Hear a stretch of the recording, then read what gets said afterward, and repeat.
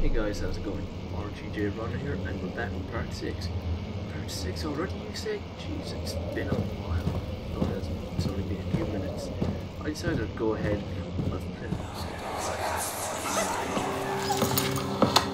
Let's see what you have to offer.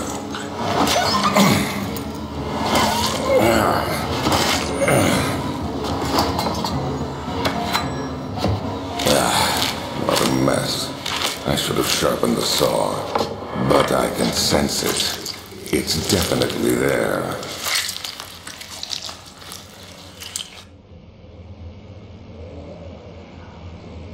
Alright, that wasn't that wasn't good at all. That that didn't sound nice. That didn't sound nice one bit. That was horrible.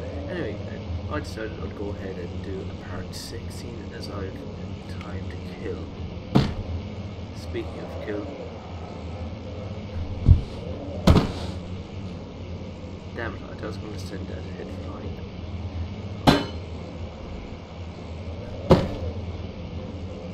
Never mind. Okay, so obviously some obviously some grisly events occurred here on this here table. I'd rather not think about it. Although it's obvious.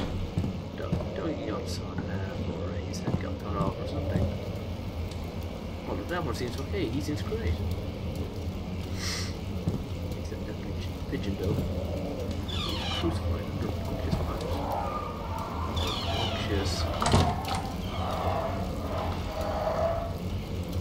That thing is still wiggling.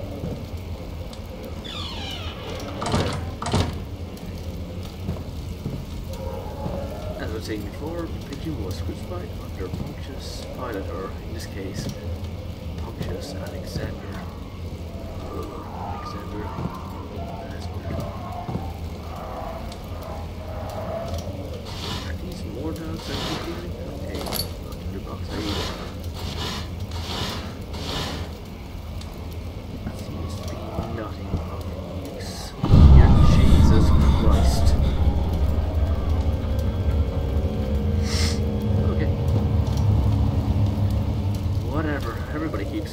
Their. Or is it just me and, and Alexander?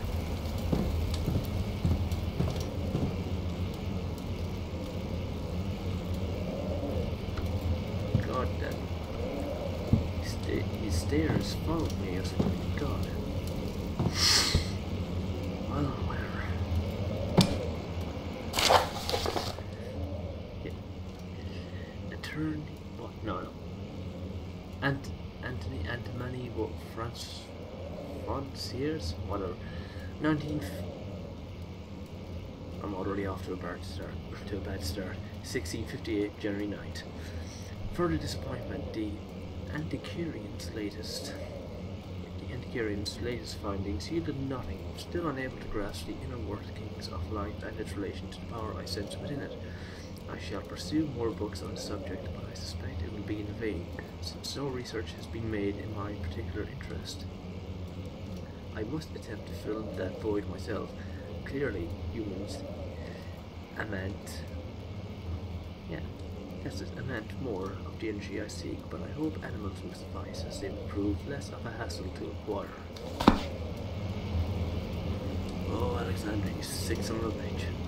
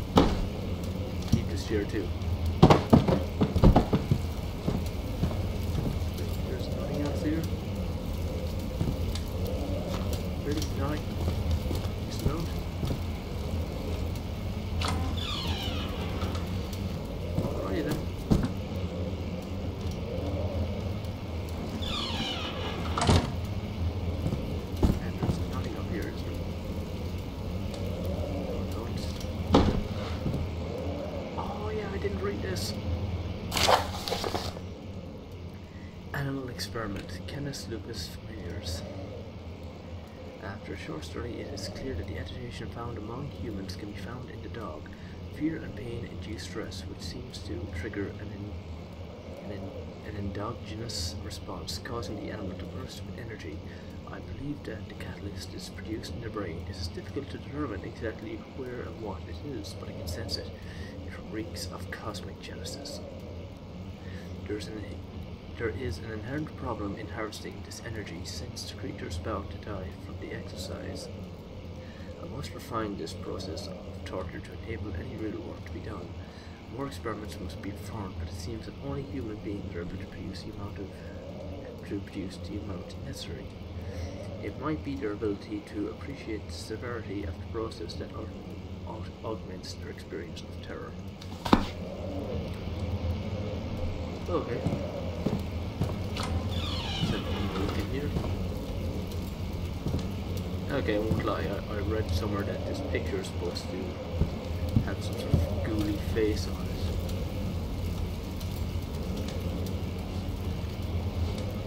But I was obviously supposed to pick up that note first,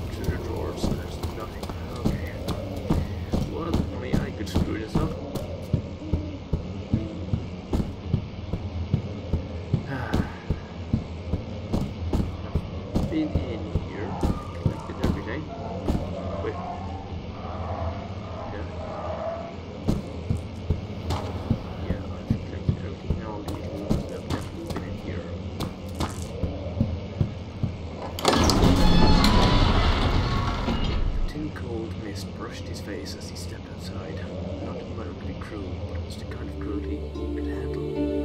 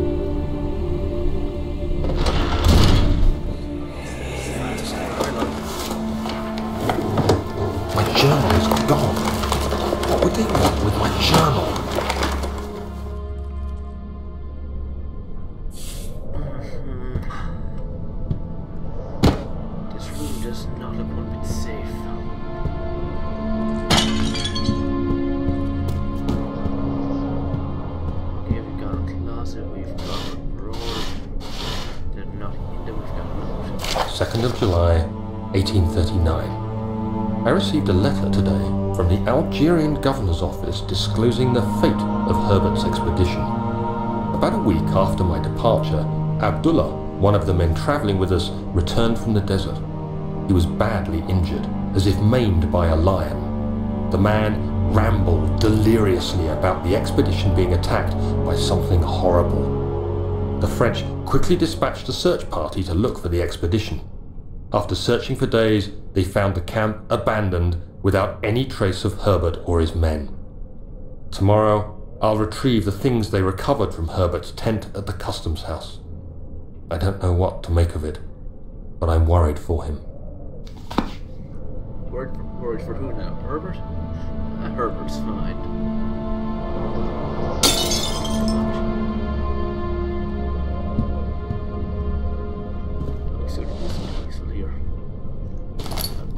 Crowbar gun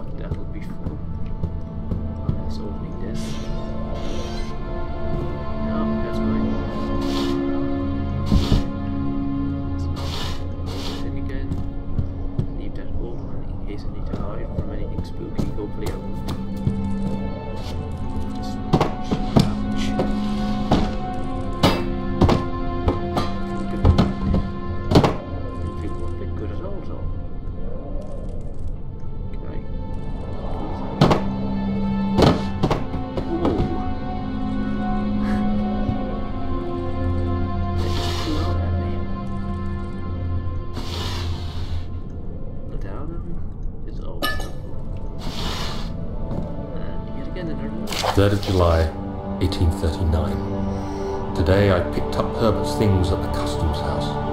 I dug through the trove of documents he had carried and found a log detailing the expedition. The nature of this text ranged from quick notes to colourful accounts of transpired events.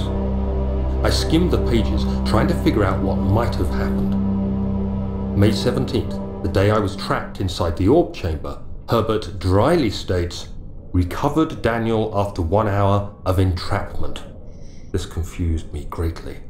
I was suffocating within minutes. How could I have lasted an hour? I continued reading the peculiar text. Herbert states his facts without judgment or passion, but suddenly I could read frustration into his text. He pushed his men to investigate the underground tomb, an effort which seems to have strained the minds of his men. Madness spread through the ranks, and Herbert had to take some extreme measures to continue. He finally visits the chamber himself, where he retrieves the orb to the surface. His account confuses me greatly. If he has the orb, what are those pieces in my drawing room? Pieces of your imagination that not clearly don't exist.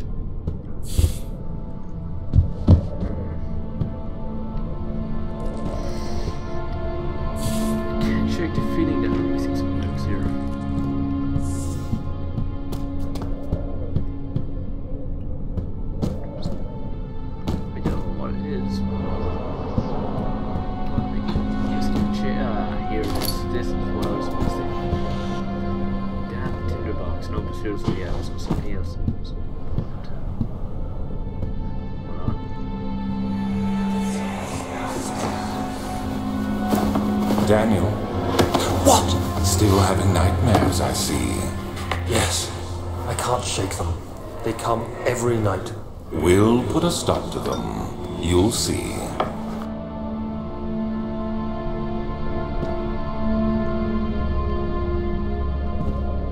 Hmm. That was it. That was the only thing I was missing. Alright then.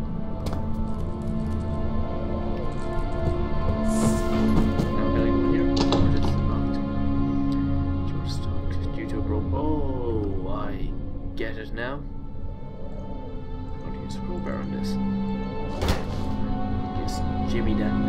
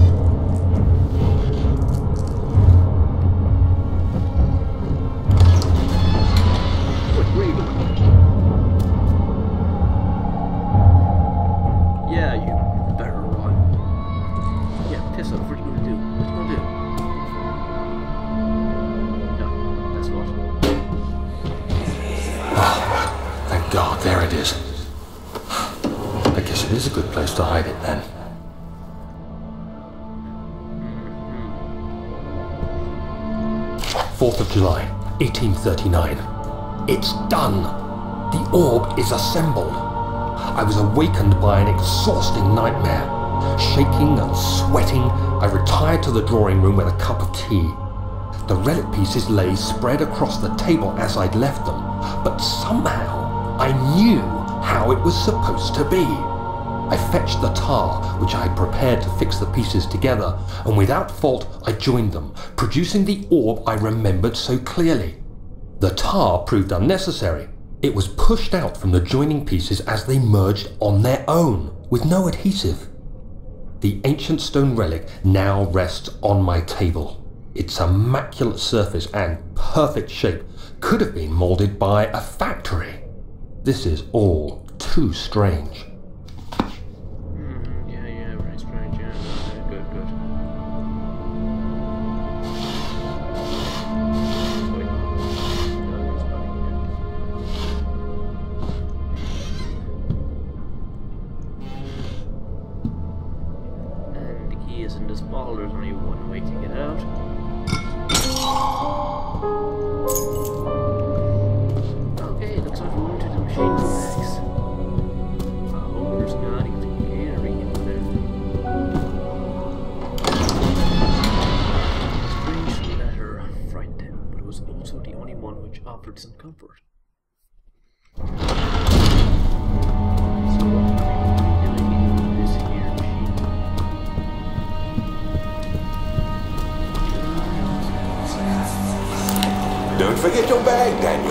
I won't, Herbert.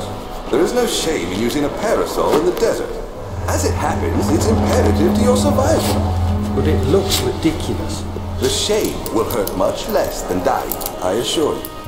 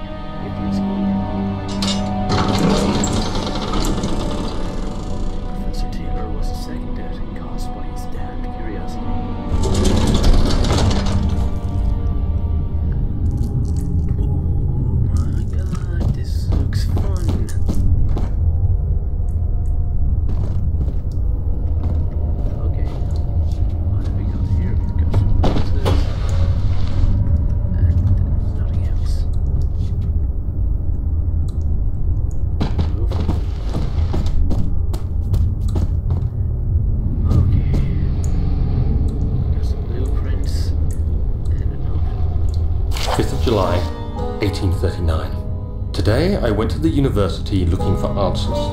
I was able to sneak into Herbert's office and pick up an address book along with some relevant textbooks. Professor Taylor at the Faculty of History was very helpful, and I managed to approach the subject of the orbs. The most interesting aspect was the prevalent trace they had left in our culture. The mythic orbs may, in fact, have inspired the globus cruciger, which so many royal regalia holds to this day. In ancient times, the orbs were held by priests as a symbol of the sun and its power. As I was leaving, I overheard a disturbing conversation. Sir William Smith, the geologist, was killed last night.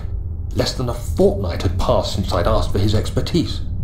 I know it's silly, but I can't help feeling responsible somehow.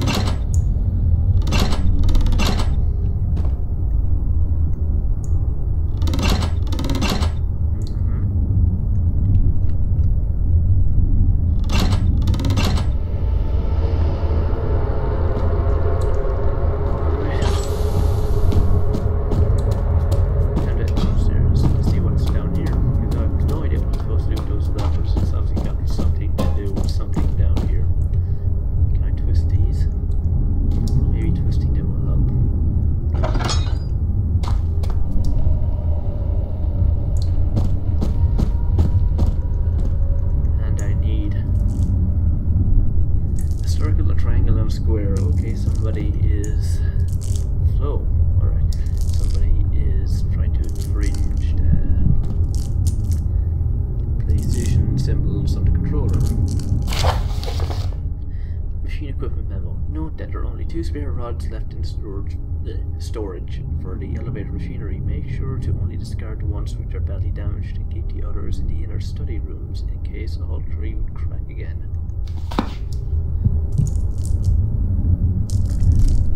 Okay, so I need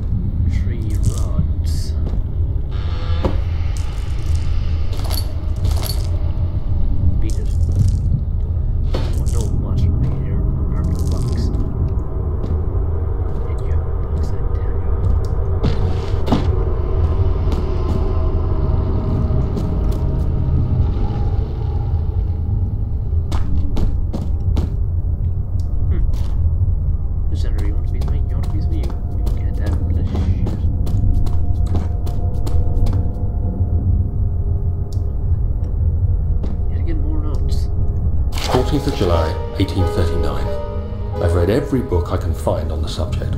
While rich in legend and hearsay, my knowledge is lack for the insight I crave.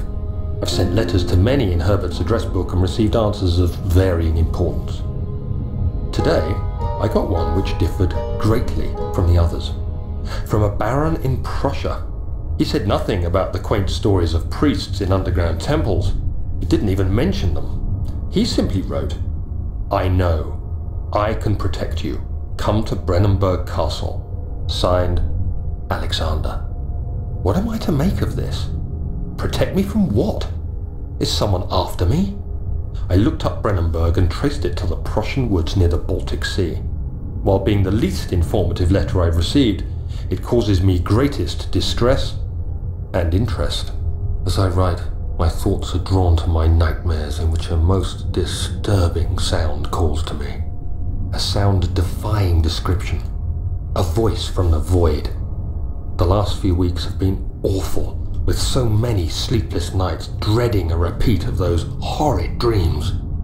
Tomorrow, I shall visit my physician, Dr. Tate, in hope that he can provide me with sedatives to help me sleep.